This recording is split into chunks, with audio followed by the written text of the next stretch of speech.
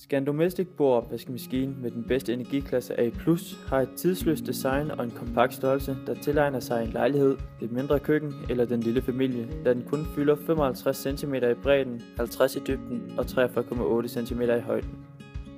Maskinen har et lydniveau helt nede på 49 decibel og kan klare hele 6 kuverter, så alt imens du hygger dig med vennerne, skal du hverken bekymre dig om støjen eller en opvask senere på dagen.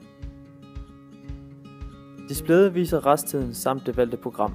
Opvaskemaskinen har nemlig hele 6 forskellige programmer samt 6 temperaturindstillinger til at dække alt slags service.